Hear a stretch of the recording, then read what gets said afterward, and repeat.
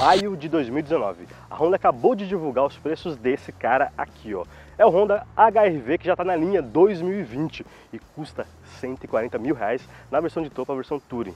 Será que a Honda pirou? Eu fiquei de sobrancelha em pé, muita gente ficou, então a gente veio aqui para casa do HR-V, na fábrica da Honda em Sumaré, no interior de São Paulo, para descobrir todos os equipamentos que o carro tem, botar tudo ali na ponta do lápis e saber se vale a pena fazer esse investimento todo ou se realmente tem algum exagero aí.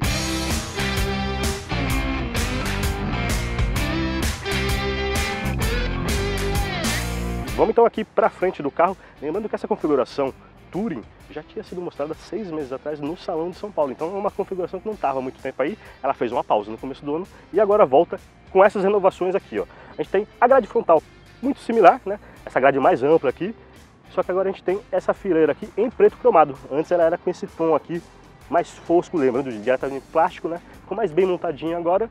O farol, antes tinha só a faixa de LED aqui e uma das luzes, né, a luz de farol alto era de LED, agora não, full LED, farol baixo, farol alto, tudo nesse padrão muito mais eficiente, né, luz automatizada também. E a gente tem também o farol de neblina em LED. Os sensores de estacionamento já estavam aí. A gente tem, claro, o sensor crepuscular, como eu falei, farol é automático, limpador de para-brisa também, começou a chover, ele funciona automaticamente. Uma coisa que não mudou aqui nas laterais foram as belíssimas rodas, né? aro 17 polegadas, diamantadas em dois tons, né, bicolor, ela é meio prateada, meio escurecida, né, em tom de preto, muito bonita, foi mantida, só que aqui na porta a gente tem agora uma facilidade a mais. Eu tô com a chave do carro aqui no meu bolso e é onde ela precisa ficar mesmo. Não preciso mais acionar porque a gente tem esse botãozinho aqui, ó.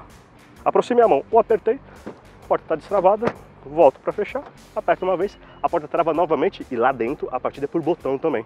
E prosseguindo aqui, uma coisa muito interessante do ponto de vista estético também e de conforto, eu não estou falando só da antena tubarão não, ela é muito interessante, muito bonita, aerodinâmica e ela também melhora a recepção de ondas, né, de rádio e também de sinais de telefonia, mas não é só isso não, a gente tem aqui ó, finalmente, teto solar panorâmico para o HRV folha dupla, um toque só, eu dou um toque, a persiana abre inteira, mais um toquezinho só, o vidro já faz seu movimento também na folha da frente. Era uma coisa que os rivais já começam a ter e fazia falta aqui no Honda há muito tempo.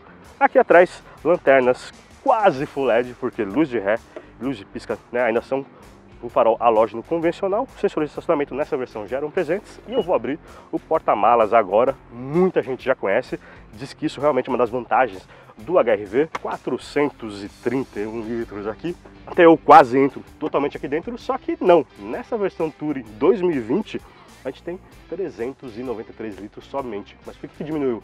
Porque o sistema de escape é outro, é o mesmo sistema de escape do Civic Touring, é um sistema ampliado, ele tem, olha aqui, ó, duas ponteiras de escape, lembrando que todo o conjunto aqui é de aço inox, né? maior durabilidade, maior eficiência também. Faltou dizer uma coisa, né? Lá no Civic, que tem esse mesmo tipo de ponteira de escape, a gente tem um embleminha ali, né? A gente tem a versão Touring, um emblema turbo e olha só, ele está aqui também. É por isso que o sistema é diferente, por isso a gente perdeu capacidade do porta-malas. Porque esse carro aqui agora também traz um motor 1.5 turbo, é quase o mesmo motor do Civic, só que esse motor aqui é feito totalmente no Japão. Ele vem importado todo montadinho para cá e a Honda coloca no carro que manteve o câmbio CVT e o sistema de sete marchas no escalonamento.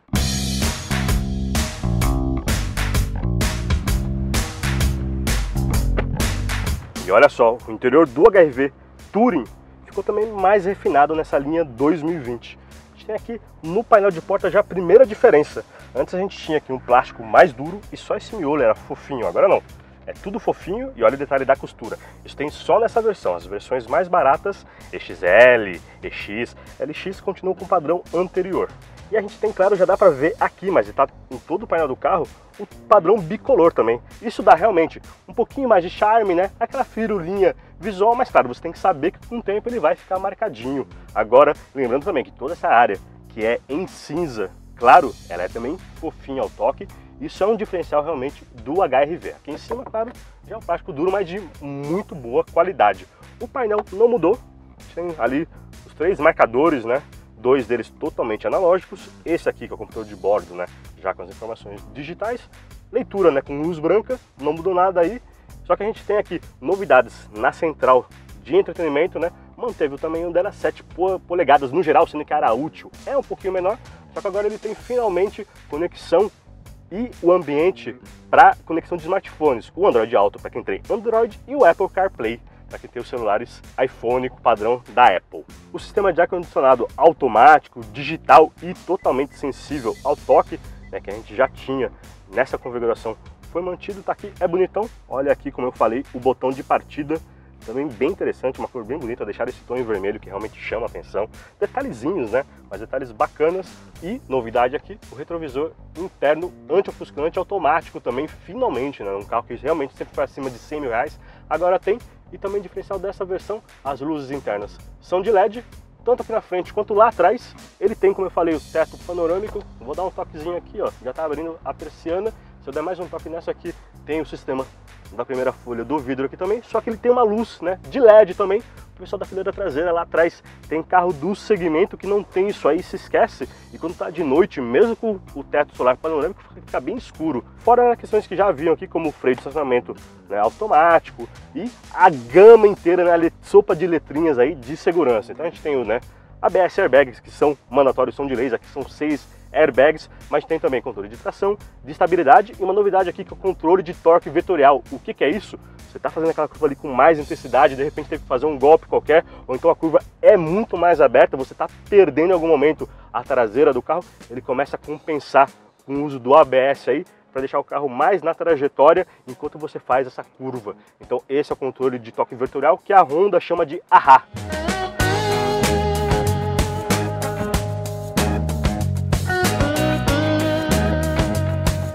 Aí vou passar para o banco traseiro agora para falar, claro, de conforto e saber se essa história de comparar com os carros do segmento de cima se faz sentido mesmo. Então vamos lá, lembrando que o HRV tem 4 metros e 32, quase 4,33, tem 2 metros e 61 de entre-eixos e com isso você fala, pô, mas ele é menor que o novo T-Cross. Pois é, é menor que outros carros e é menor inclusive que o Compass. A Honda disse que o carro tem mais espaço aqui na lateral, né? então a distância que você tem para o passageiro que está do lado, ela diz que o carro também tem mais espaço tanto no banco da frente quanto no banco traseiro, aqui ó, na cabeça, então você tem que realmente colocar na ponta do lápis aí e saber se isso não é realmente papo de vendedor. Realmente é um carro confortável, um carro agradável para longas viagens, lembrando que esse banco aqui desde a linha 2019, né, ele está um pouquinho mais largo, ele abraça um pouco melhor o seu corpo, tem o assento também um pouco mais comprido, que é bom para quem tem pernas longas como eu em longas viagens. Então é um banco realmente confortável, nem todos os rivais têm isso. No T-Cross eu falei exatamente isso, senti falta de um pouquinho mais de apoio para o joelho. Só ela tem um sistema onde você pode modular totalmente esses bancos aqui. Ó. Esse aqui, por exemplo, ó, ele não só é bipartido aqui, como ele também tem movimentação do assento. Então eu posso rebater para cima, rebater o banco inteiro para baixo, carregar coisas maiores como prancha de surf aqui. Esse banco se dobra totalmente também para frente, né? Tem uma superfície totalmente plana. Então tem essa modularidade que também ajuda no espaço interno.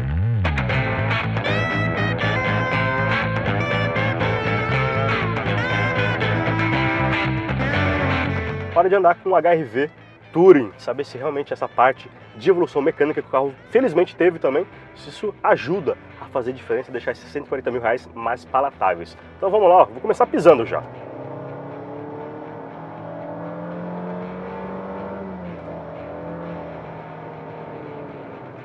Além de colocar um motor 1.5 turbo, que não é exatamente o mesmo do Civic, é da mesma família, é da mesma configuração, só que ele foi montado no Japão totalmente. E aqui o câmbio CVT também teve uma calibração específica, justamente porque né, a gente tem peso diferente do motor em si, tem a questão de equipamentos também, teto solar, né, a nova gama de eletrônica aqui para segurança, tudo isso mexe com o peso do carro, então a suspensão foi melhorada também. Né, a gente tem uma barra estabilizadora dianteira, tem também um setting diferente para amortecedor, carga de molas mudou também, são 173 cavalos de potência, 22,4 kg de torque e com isso a Honda disse que é o SUV da categoria mais forte, ela não disse da categoria de compactos ou de compactos premium, que está logo acima aí, né? Então fica esse jogo aí de asteriscos, né? Para saber qual é mais potente aqui, qual é mais potente lá. Lembrando que a Honda não divulga velocidade final nem aceleração. E somando tudo isso, mais o pós-venda, mais de 290 lojas espalhadas pelo país, né? Um custo de manutenção muito baixo, até 60 mil quilômetros, e mais uma desvalorização que fica abaixo dos 10% também, quando em outras marcas você chega até a 25% do carro, né? Agora é com você, você tem que realmente colocar tudo isso na ponta do lápis, fazer o test drive. Tem gente comprando carro sem fazer test drive, tem que guiar o carro para saber se ele vale para você, se vale a pena investir, porque não é pouco dinheiro não.